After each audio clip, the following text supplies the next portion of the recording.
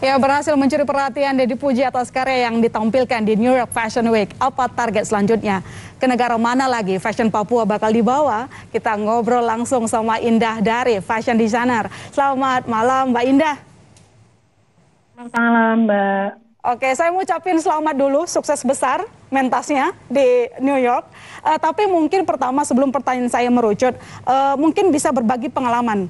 Kenapa Mbak Indah yang terpilih untuk ke New York?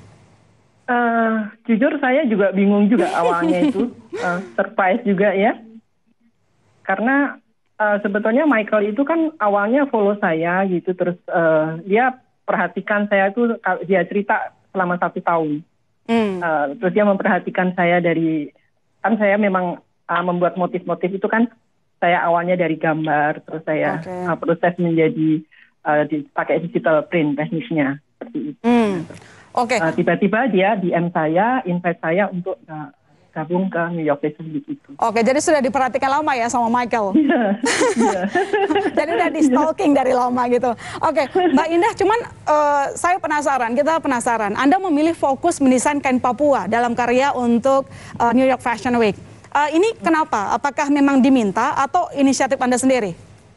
Pada awalnya saya sebelum uh, apa um, membawa uh, brandnya Dokter RR itu, mm-hmm. Dokter Rosalin, awalnya tuh saya memang uh, mau apa fokus ke Papua sama Borneo gitu. Oke. Okay. Karena selama ini kan yang saya perhatikan kalau desainer uh, mentas ke luar negeri itu kan selalu batik atau tenun mm. seperti itu. Mm. Uh, padahal uh, di Papua sendiri itu kan uh, kita ada mereka mempunyai motif-motif uh, tekstil yang tidak kalah uh, bagusnya dan syarat dengan, dengan makna juga. Nah, makanya saya uh, fokusnya seperti itu.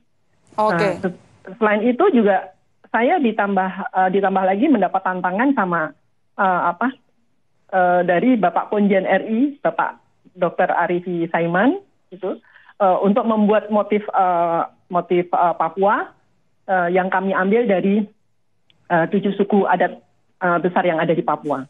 Mm-hmm. Oh, Oke. Okay. Uh, eh, yeah. Kal tadi uh, kan Mbak Indah juga mendengar dan harusnya anda juga bisa menceritakan di sana respons atas uh, batiknya Papua cukup ini ya, cukup hype ya? Iya, alhamdulillah itu mereka juga uh, ya ada yang bilang oh this is crazy, the crazy uh, oh. design begitu karena uh, apa yang mereka uh, mereka banyak juga yang dia uh, bilang itu unusual Gitu. Hmm, berarti ini uh, artinya uh, batik Papua punya peluang besar dicintai secara global. Insya Allah, Insya Allah. Oke. Okay. Saya optimis. Insya oh, Allah. Karena sukses kemarin artinya nanti Mbak Indah akan punya proyek mungkin menggandeng uh, eh, UMKM di Papua misalnya. Uh, tentunya, ya, tentunya. Okay. Saya juga uh, itu yang menjadi apa? Menjadi cita-cita saya itu ya untuk uh, apa? Agar kita bisa membuktikan bahwa Papua juga uh, apa? Uh, keren gitu untuk yeah. tekstil Papua itu keren. Mm Seperti itu. Terus apa yang perlu kita lakukan untuk melebarkan lagi sayap dari kain timur ini, Mbak? Karena kan selama ini seperti anda ceritakan tadi selalu ngomongin batik gitu ya, tapi batik Papua sepertinya kok nggak ingat uh, ketika dibawa ke New York ternyata dapat pujian yang sangat besar. Apa yang perlu kita lakukan? Mungkin perhatian dari pemerintah? Ya, memang uh, kami berharap gitu ya uh, uh, pemerintah uh, terutama khususnya yang ada di apa di mm. Papua ya, itu uh, apa uh, membantu kita, membantu, membantu kita untuk apa ya, uh, mensupport. Dalam hal? Support, uh, uh, mungkin seperti seperti contohnya, contohnya saya kan mendapat uh, undangan lagi untuk ke Havana mm. uh, tahun depan seperti itu. Uh, kalau saya pribadi sih sebetulnya memang apa ya? Uh, kami minta support uh, ya fasilitas fasilitas yang bisa diberikan pemerintah ke kita ke kita apa seperti uh, apa gitu jadi apa pun itu kita terima kalau saya pribadi modal gitu Uh, paling tidak uh, selama kita memperkenalkan itu mm -hmm. kita difasilitasi apa uh, akomodasi semuanya lah. Oke okay, oke okay. akomodasi gitu ya. Berarti sekarang ya. uh, selama ini belum berjalan ya?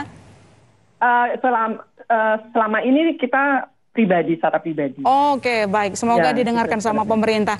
Cuman besarkah peluang bagi desainer Indonesia juga untuk mementaskan karyanya di New York Fashion Week, Mbak? Uh, di luar dari batik, mungkin kan kita juga punya kain yang sangat banyak ya dari Indonesia. Mm -hmm. saya optimis ya karena apa seperti contohnya yang di uh, yang di New York City Lasi ini, mm-hmm. saya juga awalnya kan hanya saya yang diundang, mm. saya yang diundang, terus saya mencoba uh, memang itu juga salah satu cita-cita saya juga saya ingin menjembatani teman-teman uh, desainer yang ingin uh, apa uh, ingin uh, show yang di di New York, mm-hmm. tapi dengan dengan low budget gitu ya. Terus saya mencoba bicara sama Michael. Oke. Okay. Michael uh, boleh nggak saya bawa teman seperti ini seperti itulah gitu. Uh, Uh, boleh, tapi uh, memang dengan berbayar otomatis ya. Gitu. Oh. Tapi artinya cost itu tidak besar, tidak besar. Gitu. Hmm. Jadi uh, akhirnya Michael juga memfasilitasi ada teman saya juga yang saya bawa ke ke New York Fashion, uh, New York City Life Fashion Week ini juga seperti itu.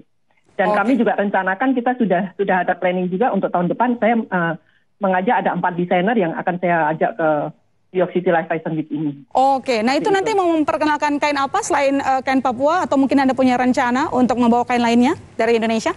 Kalau saya tetap fokus ke Papua. Papua. Uh, ya, tapi mungkin kita uh, saya akan uh, apa hadirkan dengan motif lain lagi. Oke. Okay. Uh, tidak uh, uh, beda dengan yang ini. Terus yang teman-teman juga ada yang memang dia sudah punya uh, apa ciri khas statik dia sendiri, tapi dia belum pernah ke sini. Gitu. Hmm. Jadi belum pernah ke New York Fashion Week ini. Jadi uh, saya coba menjembatani dan uh, dari dari pihak dari pihak kita teman-teman saya dan pihak uh, dari Michael juga kita sudah ada kesepakatan oh, okay. uh, nanti kita akan berangkat tahun depan. Oh ini berarti uh, kemarin William Michael juga bilang akan tetap bekerja sama di musim-musim berikutnya. Ya. Jadi itu yang dipersiapkan ya. untuk nanti ya. dengan membawa empat desainer lainnya. Iya, iya begitu. Iya. Oke, baik. Terima kasih Mbak Indah. Tapi yang jelas uh, yang perlu kita garis bawahi tadi untuk memperkenalkan batik Papua ternyata para perajin desainer membutuhkan bantuan dari regulator. Semoga didengar gitu ya supaya semakin lebar sayap dari batik Papua. Terima kasih Mbak Indah iya. telah bergabung di Berita Utama. Selamat malam, sehat selalu. Terima kasih.